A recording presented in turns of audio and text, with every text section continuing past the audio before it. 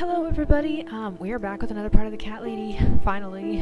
Um, my school is over for this semester, so hopefully I will have a chance to record a whole bunch of stuff before I start classes um, in two weeks. Um, but in the meantime, it is Game City. Um, I, I'm hoping to record all of the Cat Lady, um, maybe not today, but uh, in the next, in the, in the break. So hopefully I'll have some updates quickly, not that I haven't said that before, but go ahead and get into the game here. I don't remember what we were doing. Okay. Um, I believe we had check map. Okay. Um, we need to check out the noise. Um, considering Brian has run, I think it's Brian. It's Brian, right? Um, considering the nice guy on flat 7 has run out, we can go and check his flat, I believe. Um, and then we have the cat ghost thing to do. So, let's go check out. Maybe Brian's the jerk, I can't remember.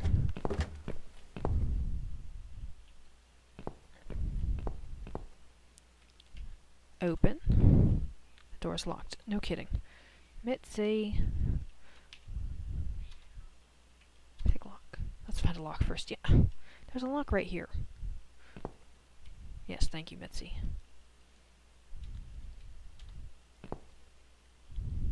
Now that he's gone, we can get inside. My audio Yes, loud. let's do that. I'll close my eyes and you pick that lock, Mitzi. Okay. But no peeking. I'd never. You've really hurt my feelings now. Yeah, yeah, yeah. Now close them.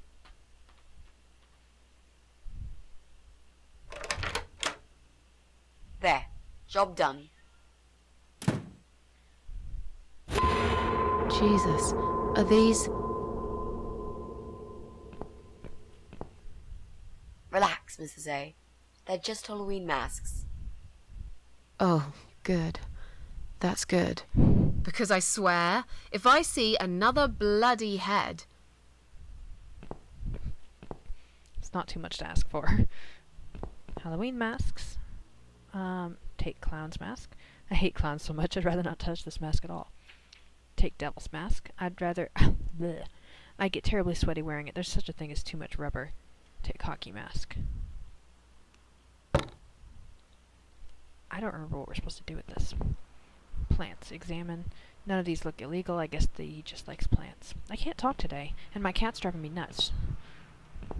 Speaker. Examine. Speaker is massive, and it's connected to Jesse's computer. Whenever he plays some music, the walls must be shaking. Okay, this is Jesse. Brian is the jerk. Did it say that on my map? Uh, Jesse's PC. Examine. It's Jesse's PC. Is that the infamous source of noise? Switch on. That won't work. Seems someone's cut the power off. Use. It won't work. There's no power. Yeah, I wonder who did that. Socket. Examine. Jesse's PC is plugged in here. If only we had access to a working electrical outlet. Okay. I remember we need to use this with the window. This puzzle took me forever because I knew what I was supposed to do, but for some reason I couldn't.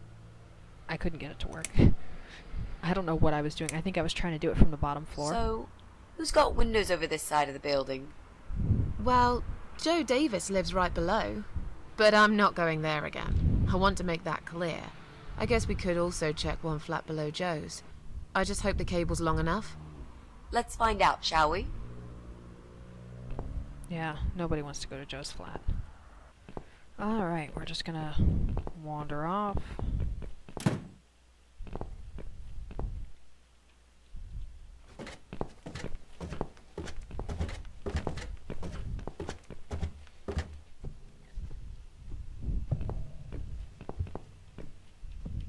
Open.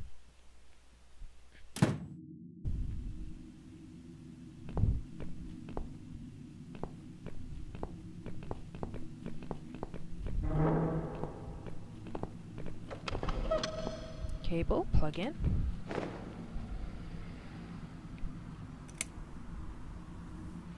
Why didn't Mitzi stay upstairs and be useful?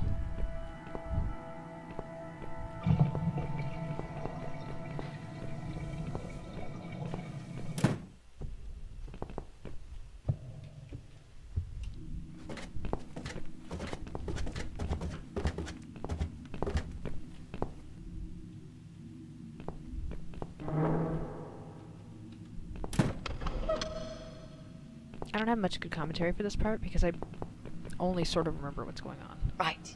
I should be able to use that computer now. Could you give me five minutes, Mrs. A? Sure. Why not? I'll keep an eye on the door. You do that, Susan.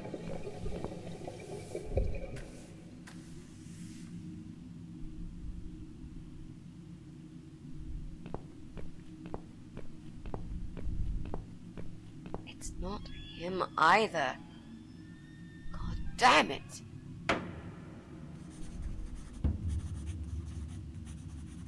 Press any button to close.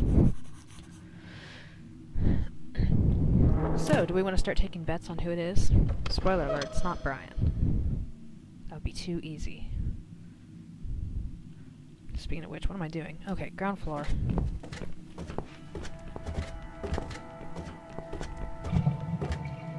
Go see if we can remember what to do about the cat ghost.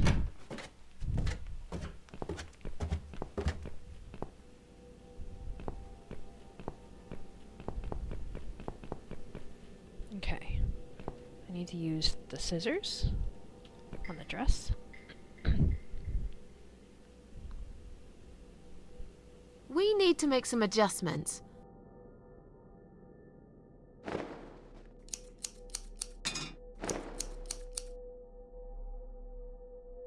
Now this is a dress worthy of the cat widow.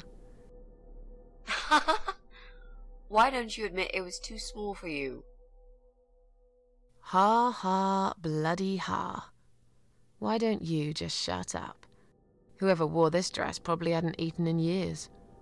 You'd struggle to get a skeleton into it. Yeah, what's your name from Downfall? Now I feel like a jerk. I don't remember her name. Um, Agnes, maybe? Let's see if this works. Use. Easily prise it open with a screwdriver. Done, I can pick up the tin now. Take.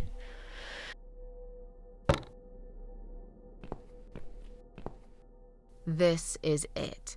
We've got all we need. Great! Are you going to tell me about the cat widow now? Yes, it's story time, Mitzi. The legend says there was once a bad man who hated cats. He hated his neighbors too, and his job. And when it rained, he'd curse and smash things. He hated his bald head and his weak, ugly body. He probably hated himself the most, although he would never admit it. I think I see where this is going. One day, out of pure hatred for the whole world and everything that lives, he captured a family of cats and drowned them all in the river. That day, the sun turned black and all the birds went silent as the six kittens struggled for life. But trapped in a strong canvas bag, they never had a chance. They all died that day. All but one. The mother cat, in a desperate fight to set herself free, by pure luck clawed her way out of the bag and swam to the shore. She lost everything that day her beautiful children and her proud husband. Her heart crashed into pieces as she watched their limp dead bodies stolen by the current. Running after them, she followed them for days, for as long as she could. Then, eventually, she lost sight of them. She stayed on the bank of the river for a while. The world stopped turning for her, her eyes empty and blind. And then, one day, she slowly slid down the bank and into the cold, dark water. She gave in to it. She let the river take her away too, cover her mouth, her ears, her eyes. But as the water filled her lungs and she started slipping into darkness, there was another strange feeling that burst in her mind like a ball of flames. Anger, rage even. Her last craving, before she drowned, was for revenge, for blood. And so she returned, reborn and changed. A cat widow, veiled in black, mistress of the cats. Her body of a young woman, but her eyes of a cat. And her face, white, rotten, face of a corpse. Those who saw it rarely lived to tell the tale. She would get her revenge on all cat killers and cat torturers. But there was someone she had to see first. Someone special. Someone she really hated the most. As the evening came, it was strangely quiet in the man's flat. As he lived alone, he usually liked to fill the silence with the sound of radio or TV shows. But that night, he switched them all off, feeling anxious and tired after work.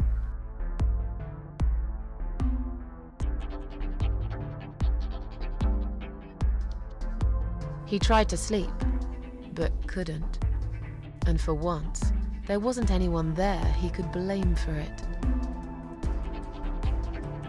As he stared through the window, he kept thinking about how much he hated that view.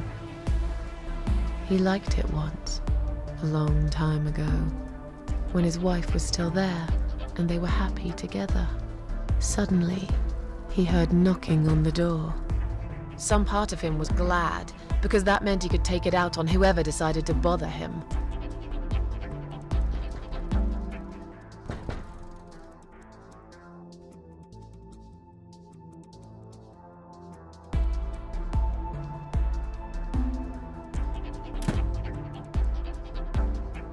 There was nobody there. He almost felt disappointed, but before he turned to walk away, he suddenly noticed something down the hall. On a nearby wall, there was a giant shadow of a cat. He noticed a shadow of a cloaked figure standing ahead. The dead body of a disemboweled cat hung on the radiator. On a nearby wall, there was a giant shadow of a cat.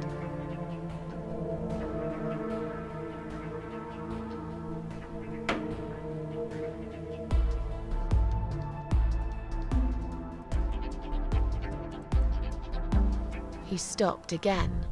He couldn't believe his eyes.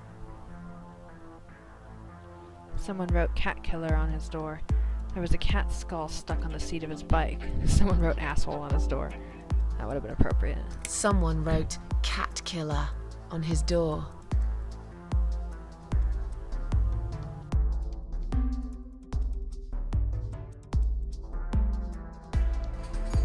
He had a passion for trains. Although he hated being a train driver, he had always enjoyed watching them move. But now, his train model was moving all on its own. He was absolutely certain he'd left it switched off. And yet, there it was, running at crazy speed, remote control missing.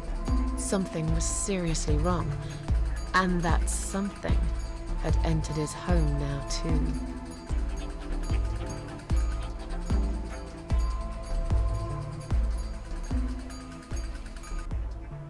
He hoped he was just imagining things, tired as he was. But there was another surprise waiting for him in his bedroom. A giant blood soaked zombie cat sat on his bed. Cat Widow is here was written all over the wall. Cat Widow is here was written all over the wall.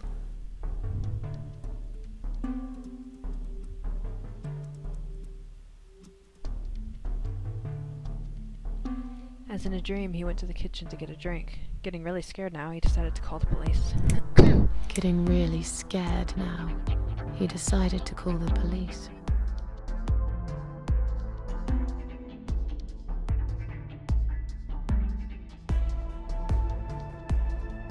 His phone was of no use. The SIM card had been removed, and that wasn't even the worst part. There was a photo of a black cat set as screensaver. He remembered this cat. He'd watched that strange pest control man put it in a cage and into his van. He'd looked at it through the window for a while, then pulled the curtains and went to bed. As in a dream, he went to the kitchen to get a drink.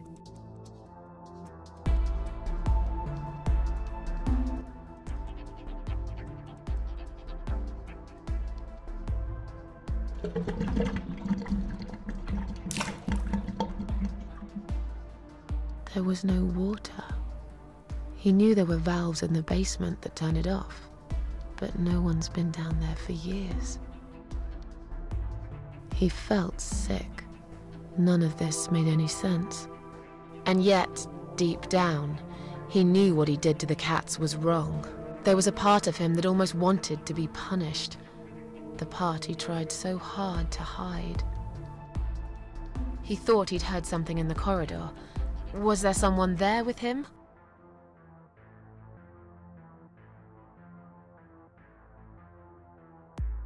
His head was spinning. He felt ambushed, trapped, like an animal. He had to get out of there. He stopped, paralyzed. He'd heard something right in front of him. A whisper. More like a her. She was there, in the dark corner of his living room, waiting. Black veil covering that pale, dead face.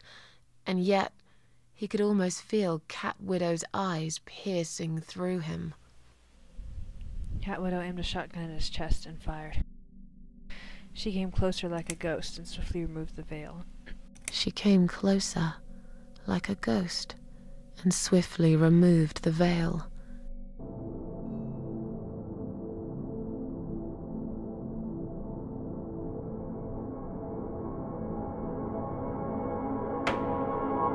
She came back for him, to take him to the river, to make him pay for what he'd done.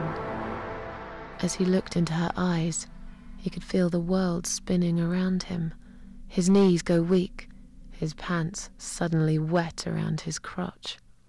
As much as he hated life, he didn't want to die either.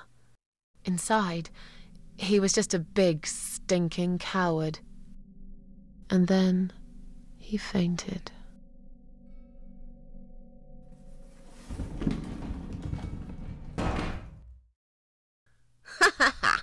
Did you see his face? I knew he'd fall for this. Yeah, we scared the living shit out of him. Now that's teamwork. Are you sure he won't know it was you, though? Oh, he probably will, once he's had time to think about what happened. But he's too proud to ever admit he's been beaten by a woman. I know him just about enough to know that. Let's hope so. I don't want you to get in trouble because of me. No. That was something I had to do for myself. And I feel much better for it. The only problem now is that we still haven't found Eye of Adam. Because it definitely isn't Brian. I've searched through his laptop and all I found was a load of porn. Let's cross him off the list.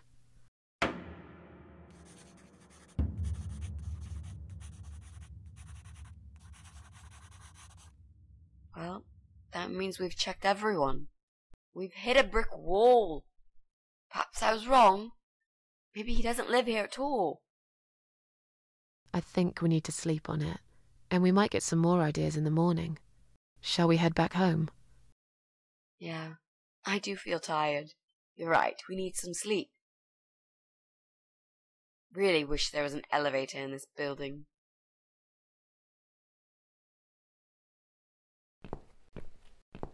What's that? A note? What does it say, Mrs. A? You will not believe it. Meet me at midnight, both of you. I will wait. Flat 5. Door will be open. Do not fear. Eye of Adam. Flat five. That's the old guy. Can't be. It can't be him. I guess we'll find out. At midnight. We've got a few hours until then.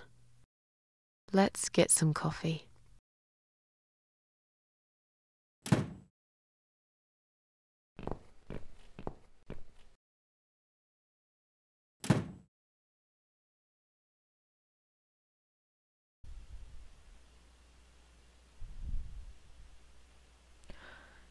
Think this is the downfall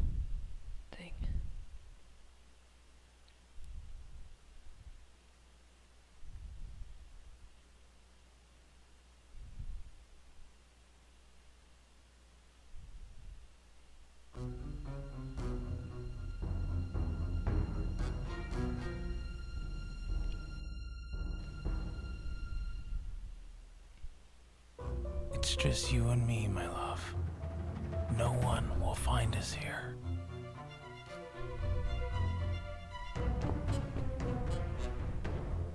Stop worrying, Ivy.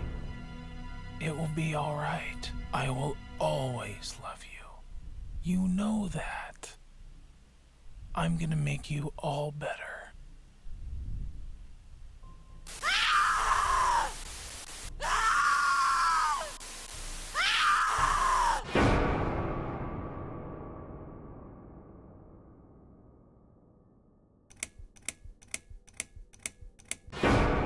Chapter 7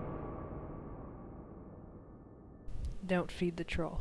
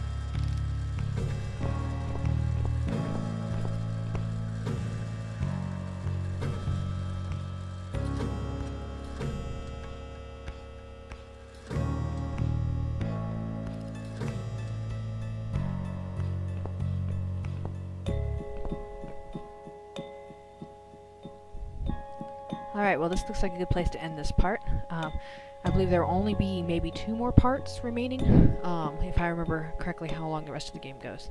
Um, but I'm going to go ahead and record, uh, hopefully, both parts, and maybe all parts. Um, so I'm going to end that here, and I will see you all in the next video. Bye.